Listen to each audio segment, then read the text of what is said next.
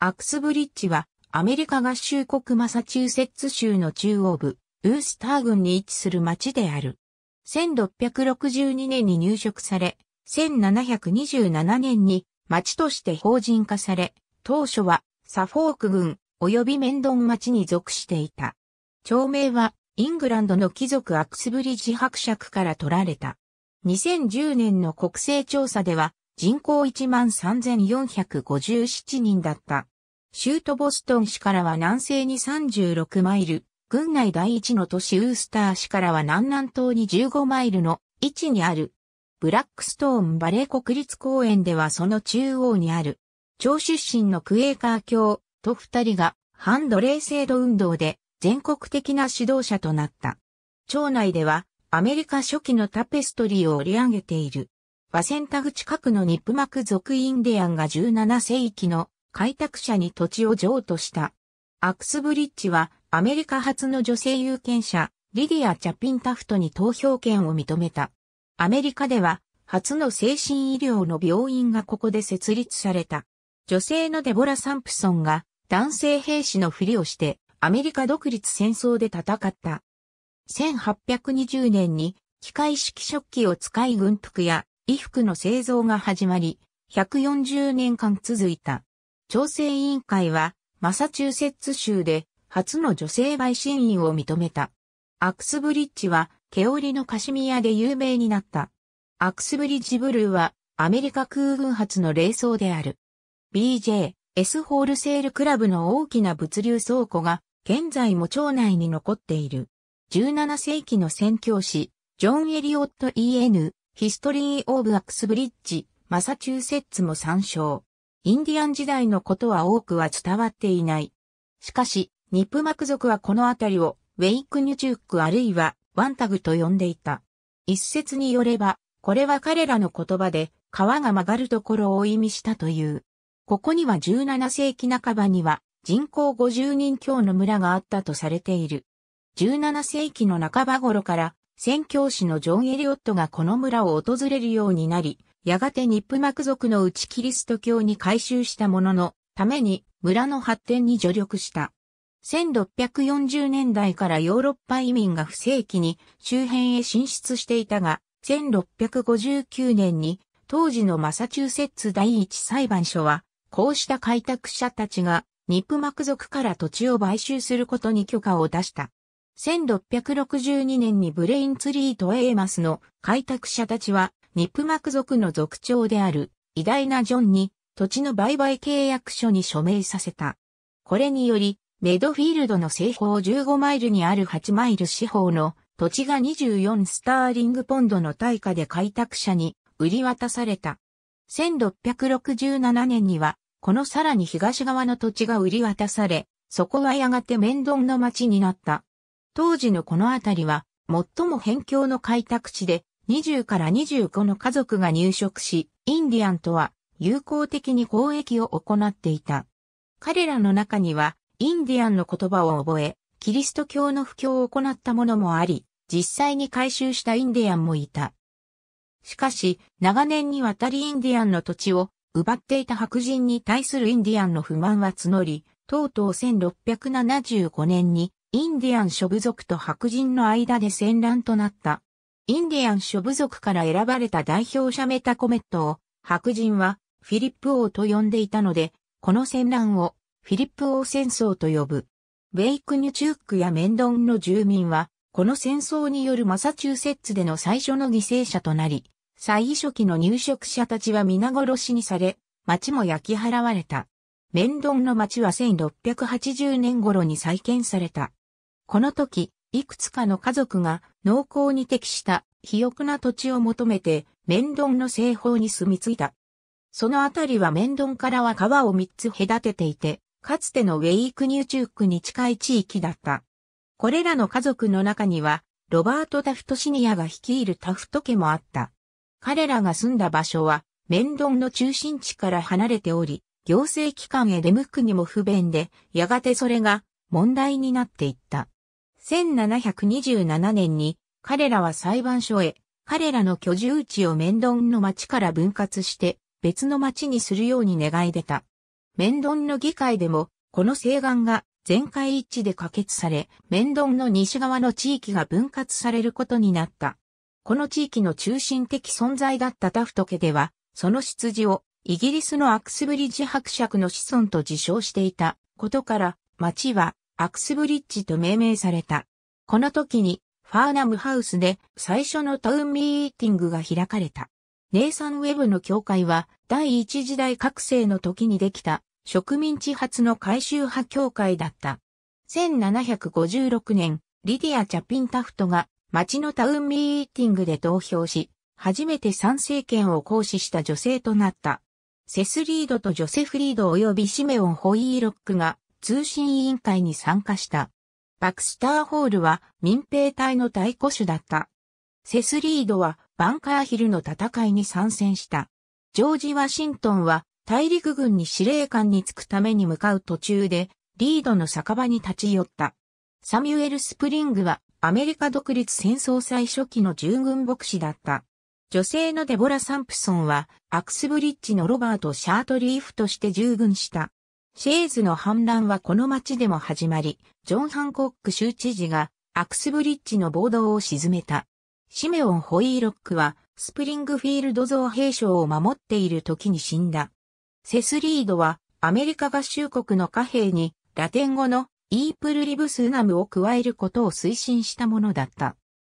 ワシントンは大統領就任の旅で、この町に泊まった。ジェイコブ・アルドリッチ邸、クエーカースタイルの家リチャード・モーリーなど、クエーカー教徒がロードアイランドのスミスフィールドからここに移ってきて、製粉所、鉄道、家屋を建て、道具やコネストガ幌馬車の車輪を製造した。サウスウィックの店には、社会と教育のための図書があった。モーゼス・ファーナムの農園に隣接するフレンズの集会所は、奴隷制度廃止運動家のアビー・ケリー・フォスターやエフィンガム・カプロンがその会員として著名になった。カプロンは地元の反奴隷制度協会員450人を率いた。アクスブリッジにいる元奴隷のブリスター・ピアースはコロンビア特別区で奴隷制度と奴隷貿易を廃止することをアメリカ合衆国議会に要求する請願書に署名したものだった。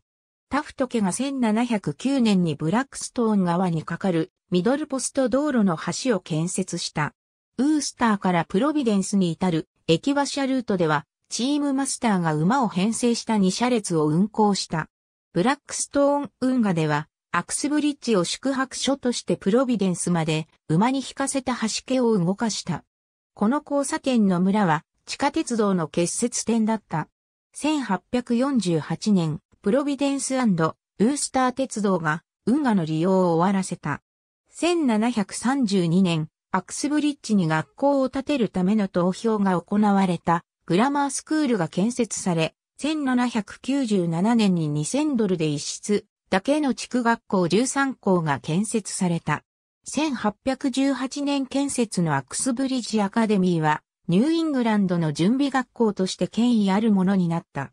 アクスブリッジは天然痘のワクチン接種について住民投票で否決した。サミュエル・ウィラードが天然痘患者を治療し、現代的な精神科医の先駆けとなり、アメリカでは初の精神病院を運営した。当時の生体記録には、幼児の多くの死を記録している。調整委員、ジョセフ・リチャードソンの天然痘の死、クインシー、赤痢、結核による死もあった。レナード・ホワイトは1896年にこの町でマラリアが流行したことを記録し、蚊が媒介する疫病としてマラリアを初めて統制することになった。アクスブリッジは1922年の四半期での強盗件数が州内でも多い町となり、投票によって初めて夜間のパトロール警官を雇うことになった。沼鉄鋼と3つの鉄炭蔵所が植民地時代を隠したものであり、1775年頃に大規模工業の時代が始まった。その発展の例として、毛織物、リンネル、綿布を生産する機械を作り販売し、製粉所、製材所、蒸留所、大規模工場を建設したリチャード・モーリーの仕事がある。アクスブリッジの最盛期には20種類の工場があった。ダニエル・デイが1809年に最初の毛織物工場を建てた。1855年までに560人の地元、労働者が250万ヤードの布を生産していた。スカデンの小さな銀行脈では、1830年代に商業的な再興ができなかった。チャールズ・カプロン邸、カプロン通りにカプロン家はその工場があったアクスブリッジセンターで工業時代に顕著な存在だった技術革新には機械式食器、毛糸から衣服までの垂直統合、カシミヤと毛糸の合成ブレンド、ウォッシュウェア、紡糸技術、ラッチフックキットがあった。村には工場、店舗、労働者住宅、農園があった。ウィリアム・アーノルドのアイアンストーン綿糸工場を後に、ケンタッキーブルージーンズを製造し、セスリードの製粉所には後にベイステートアームズが入った。ヘクラとホイーロックビルにはアメリカンウールン、ウォーカンタック、ミル、ヒレナ、ローウェルの加工場、ドレーパーコーポレーションが入った。ダニエル・デー、ジェリー・ホイーロック、ルーク・タフトが水力を利用した工場を運営した。モーゼスタフトのセントラルウールンは南北戦争のために制服を作り続けた。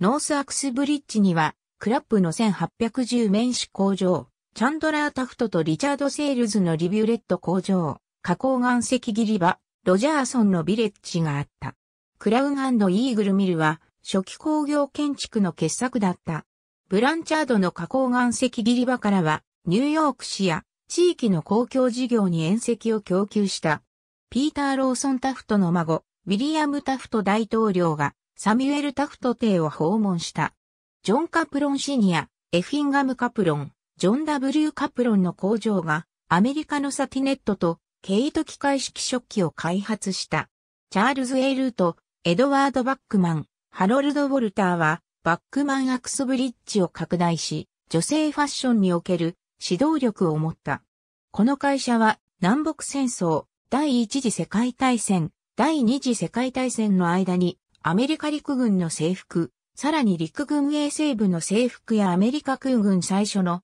礼服を制作した。雑誌タイムはアクスブリッジ・ウーステッドのバイアウトでアメリカ毛織物トップ製造会社になると報道した。アメリカ最大級の紡糸会社バーナット・ヤーンの最大工場が1960年代から1980年代まであった。インフォメーションサービスと呼ばれる歴史ある会社がアクスブリッジで運営され、20世紀後半には数ある出版物の中でもニューレパブリックの購読サービスを管理した。工場や川の周辺に開発された州や国の公園が改修されてきた。1974年の映画華麗なるギャツビーと1978年の映画、オリバーの話は、スタンリー・ウールンミルなど、アクスブリッジで撮影された。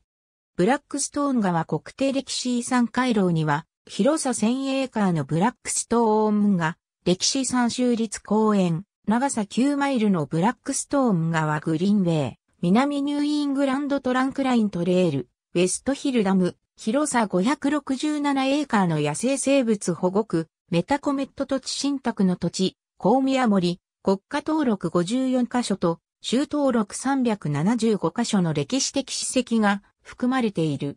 史跡の一つ、ジョージア町のエルムシェードは、アメリカ合衆国陸軍長官、アルフォンソ・タフトが有名な一族集会で家族の歴史を物語った場所である。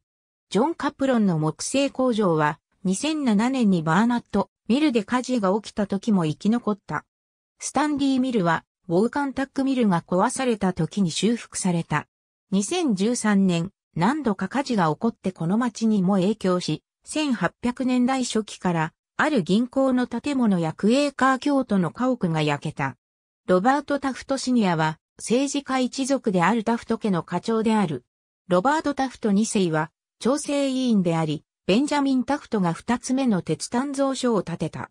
女性やタフトの未亡人リディア・タフトはアメリカで初の女性投票者になった。ベンザリール、タフトシニアはアメリカ独立の時に大を務め、州の会議員を呼び、上院議員も務めた。ベンザリール、タフトジュニアも同様に州議会上院議員を務めた。サミュエル・タフトはジョージ・ワシントンが就任後のツアーの時に艦隊した。エズラ・タフト・ベンソンは、末日生徒、イエス・キリスト教会の生徒の一人となり、ハワイ布教者、ユタ州議員を務めた。チャンドラー・タフトは1814リビューレット工場を建てた。ダニエル・デイはタフト家の一員であり、アメリカで3番目の毛織物工場を始めた。ルーク・タフトは水力を使った繊維工場2つを建て、モーゼス・タフトはスタンリー・ウールンミルを建てた。ピーター・ローソン・タフト一世がウィリアム・タフトの祖父だった。バーモント大学第4大学長のウィラード・プレストンは有名な説教を出版しており、後に独立系サバンナ長老派協会に勤めた。アーサー・マッカーサーシニアは、州副知事、アメリカ合衆国地区裁判所判事を務め、ダグラス・マッカーサーの祖父となった。セスリードは、バンカーヒルの戦いに参戦し、アメリカ合衆国の貨幣に、ラテン語の E pluribus unum を加えることを推進した者となった。その後ペンシルベニア州、エリー市とニューヨーク州、ジェネバ市の設立者となった。ポール・ C・ウィットインは、ウィットイン・マシンワークスを設立した。フィネアス・ブルースとベンジャミン・アダムズは、アメリカ合衆国下院議員になった。ジョシュア・マコーマーとウィリアム・オーガスタス・モーリーは、教育者になった。エフィンガム・カプロンは、南北戦争推進、反奴隷制度活動で中心となって街を率い、州都全国で反奴隷制度運動の指導者となり、工業資本家でもあった。エドワード・サリバンは、米西戦争で名誉勲章を得た。ウィラード・バートレットは、ニューヨーク高訴裁判所長官となり、フランクリン・バートレットは、アメリカ合衆国下院議員となった。エドワード・ P・ ブラードは、ブラードマシンツールズを起こし、その設計で自動車の製造と産業そのものを可能にした。チャールズ・アーサー・ルート、エドワード・バックマン、ハロルド・ウォルターがアクスブリッジ・ウーステッドを巨大製造業にし、女性のファッションに影響した。アリス・ブリッジズは1936年ベルリンオリンピックの水泳で銅メダルを獲得した。ティム・ホータグノはメジャーリーグベースボールのカリフォルニアエンジェルスとシカゴホワイトソックスでプレーした。リチャード・ムーアはマサチューセッツ州上院議長代行。アメリカ合衆国連邦緊急事態管理庁、執行役、州議会全国大会議長を務め、マサチューセッツ州で画期的な医療法の構築者となった。ブライアン・スカリーは雑誌ナショナルジオグラフィックの写真ジャーナリストであり、地球の海洋生物の保護に努めている。アーサー・ケイ・ホイーロック・ジュニアはナショナルギャラリーのバロック学芸員である。ジャクリーン・リーバーゴットはエマーソン大学の学長だった。ジャニーヌ・オッペウォールはアカデミー美術賞で4度候補になった。スキップシーは映画を10作品制作し、聖職者の虐待に関する映画、アベマリアでローマ国際映画祭の賞をもらった。アクスブリッジは調整委員会とタウンミーティングの政府形態をとっている。これまでの政府は1756年、リディア・チャピンタフトに町のタウンミーティングで投票させ、初めて選挙権を行使した女性とした。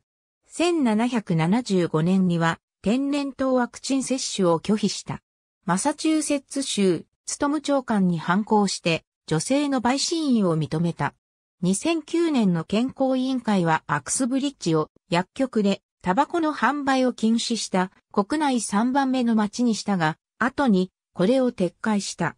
アクスブリッジには州の地区裁判所がある。アメリカ合衆国国勢調査局によれば、地域全面積は30.4平方マイルであり、このうち陸地29.6平方マイル、水域は0.8平方マイルで、水域率は2.73%である。州都ボストン市の南西39.77マイル、ウースターの南東16マイル、ロードアイランド州プロビデンスの北西20マイルにある。町内の標高は200フィートから577フィートまで変化する。州内ではダグラス、メンドン、ミルビル、ノースブリッジ、サットンの各町に接し、さらにロードアイランド州のバーリールビルとノーススミスフィールドの各町と接している。位置関係は、数参照。アメリカ合衆国農務省による植物気候帯では、第5区分気候帯では大陸性気候にあり、